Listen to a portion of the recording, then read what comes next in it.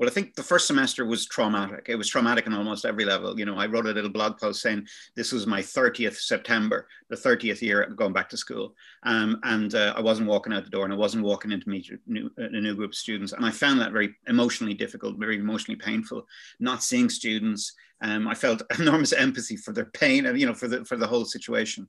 And that first semester was you know kind of traumatic in many ways. And at the end of it, as I wrote in my blog post, you know I, I had a little cry when the when I turned off the screen. The second semester was quite different, and I think everybody would say this: the old normal became the new normal, and it became just normal. Um, and uh, I think that we all leaned in a bit more. Um, and we got used to the rhythm and the pace and the methods and so on. And humans are very adaptable, and we had definitely adapted. And also, I think the other thing is that we weren't waiting for it to be over. We knew this is where we were at, so that was a huge difference. So the second semester was a very different experience to the first one, and I also changed the way I taught. Um, I had a lot more participation. I had a lot more guests. I had a lot more live um, because I was afraid that the content was dead you know, I realized that what we were not doing was online teaching, but rather emergency teaching. And that distinction became very interesting for me to think about a bit more. The first semester was kind of, I was trying to be an online teacher, and it's very difficult. That's a very specific skill set. Whereas the second semester, I was uh, prepared to mix up the way I did things, a bit more live, a bit more discussion, a bit more tutorials, small group, and so on and so forth. And I think we all we all got on very well there. So it, it was a, a, a much less stressful experience for the second part of the year. Yeah, I mean, I, I don't think I don't think we know. I don't think we really fully understand what's just happened, actually. I, I think that we'll be unpacking that, and I think we should unpack that. In fact, I'd like to see the HEA, you know, award some research funding, or I'd like to see us as an institution start to initiate some research, um, some kind of town hall, you know, how, what did you do? What do you think happened? I think it's worth unpacking the experience when we're all able to do it. Lots of things happened. I mean, we were able to teach in very different ways. I taught in smaller blocks. Um, you know, our pedagogies changed. We were on our own to a very large extent. Um, and that was a little bit difficult. And then, as I say, you adapt and get used to everything. So, and the other thing is, where does our content live? What is the relationship between our content and us as teachers? All of those kinds of ideas. I saw, for instance, um, you know, a, a newspaper obtained video of a lecturer. And I thought, well, where, from who, what's that about? Who owns that kind of thing? So there's interesting, you know, really serious questions there. But also, I think one of the things that the pandemic has thrown up is what is the role of the university? What does the university do that's distinctive and different from the online uh, kind of learning experience? And I think we need to recapture that and, and be, you know, I, and I, I, feel very strongly that we do have a strong sense of that. But the idea that we can hand everything over to an online platform, I don't think is advisable, though we can learn things uh, and perhaps include them.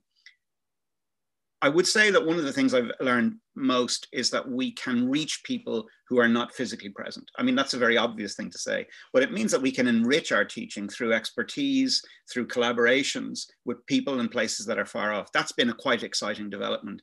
And we've been able to run careers and, and guests from film festivals and so on and so forth, who we wouldn't have got to otherwise. That's been great.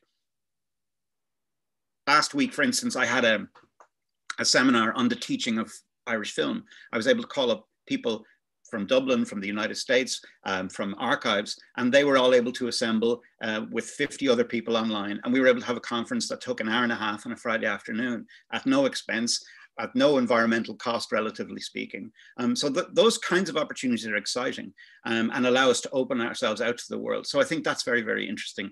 Uh, and I'd like to bring some of that forward it's very difficult to know what's going to happen. I mean, we, we one of the things that we decided to do, I think all of us collectively, was to follow the president's kind of advice: be kind. In other words, give everybody the benefit of the doubt every time. Um, so that meant that we had to be a little bit more relaxed with time with timetabling, perhaps, or a little bit more relaxed with uh, deadlines and so on. It also meant that we had to reach out to students a bit more. So we spent a lot of time responding very quickly and very often to students and student needs. That's new in a sense. You know, we're always careful and caring of students, but that kind of level of attention um, and, and response level is very uh, new. That's very labor intensive. It's very emotionally intensive. I think we discovered that we're not really qualified for aspects of that, even though we were the primary point of contact. Um, and we either need some training or we need to have better support services. But again, this was a, a unique kind of a year. What I found most difficult about this year was trying to get any research done and trying to separate those spaces when everything is on this small laptop uh, space. So what I did really was try to get up earlier, work till a certain amount of time on research, and then try and break up the day. I never really did that before, so that was an interesting um, development. The other thing I really want to say is I think the leadership of the president and, and those kind of keywords were really crucial. I think they set a tone um, and they set an attitude which I, I, I, think really, really helped. And I think spread throughout the university community among staff, among students, and among support services uh, and administrators. And oh, I think in general, um, my experience of working in university was incredibly positive this year on account of that. The other group of people I would really like to single out are the class reps. They became incredibly important.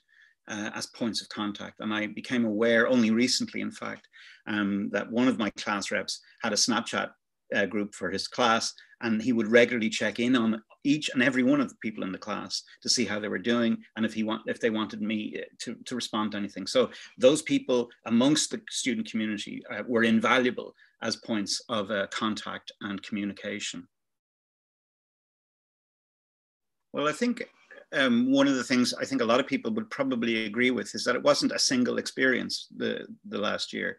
There were phases and cycles and you had good days and you had bad days. And I think the first part of it I found very, very difficult. Um, the isolation, the social isolation, the intellectual isolation, I found extremely difficult. Um, and uh, like everybody, having lots of dreams and sort of a sense of a loss of a sense of purpose, um, all of that went away. I think possibly with the arrival of more light uh, and then, you know, better news about vaccine. Uh, all of that went away, and you kind of repurposed yourself. The the length of the lockdown actually was quite interesting. Had it been shorter, I think our conversations and our sense of ourselves would be different. I, I'm actually happy it went on a bit longer because I actually got better and felt stronger as as things went on. One of the things I missed was socializing and, and social interaction with students, and realized that that's what I really like. That's what I'm in the job for a lot of the time. Um, I probably did more writing uh, because that was a main a, a replacement for socializing. So that was kind of interesting. I got more work done in some senses. Um, and the other thing I learned is that habit uh, is extremely important. You know that in a way, um, habit is more important than willpower.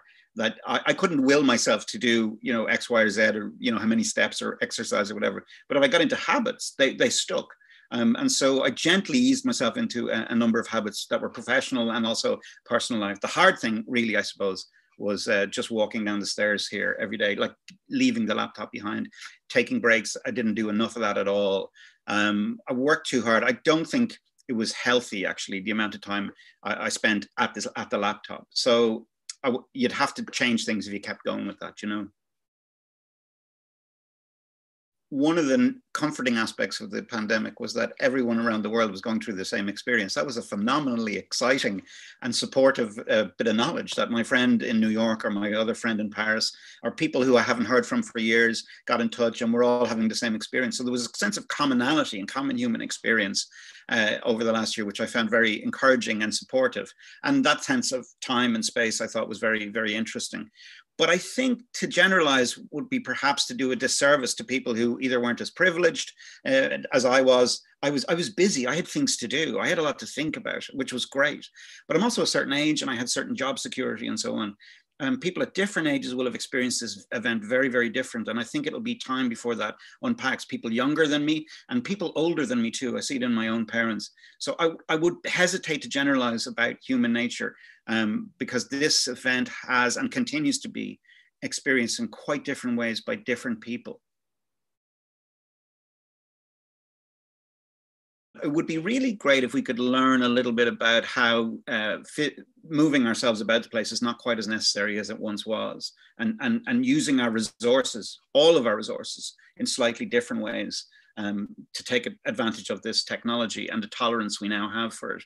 So I, would like to see that. Um, and I think that would allow us, that would free us up uh, to teach in different ways, perhaps be in different places, perhaps teach different groups of people. The potential of the technology we haven't even begun to uh, understand. I, I, would really strongly feel. I mean, we at the moment we bring guests in from abroad. We realize that everybody could come, you know, anywhere. They didn't even want money. A half hour out of your day to sit on a screen. It really. So that's an enormous, extraordinary potential for us as a university, as it is for all across the the, the, the education world. So I think that that technological potential is really, really exciting. Um, and we should be free and open uh, and experimental in how we might drive that forward. The thing about the blog post was I wrote the blog post in about an hour one day. It was that day, the day that the teaching stopped. And actually, it was a form of therapy. I mean, I didn't think it was therapy at the time, but I, I just felt a need to sort of say where I stood, say how I was feeling, um, and record it. And, and, and it, was it was a gesture of me trying to understand what had just happened. Uh, I don't feel that way this this term. I mean, we all signed off yesterday, one of my groups, and uh, students said, "Thanks a million, that was great," and everybody was smiling, and it was easy, and you know, there was an enormous sense of positivity. The last semester, I didn't feel that way at all. You know,